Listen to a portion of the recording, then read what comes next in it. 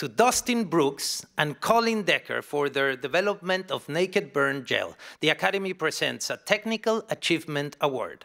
Coming up.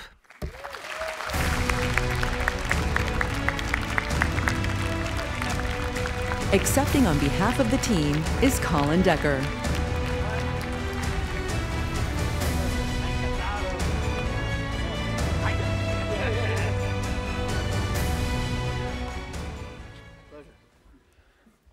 Wow.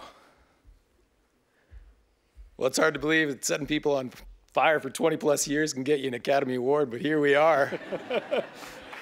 We're so grateful. We can't say thank you enough to the Academy. Dustin would like to thank his brother Richard, his mom Kathy, for all their love and support over the years. We both owe a great deal of thanks to JJ Makaro. His trust in us during Final Destination 3 is the reason we're here tonight and why we invented this incredible product that you're awarding us. He's also been an inspiring mentor, a teacher, leaving us with countless lessons we use daily in our careers. He's also a giant pain in the ass.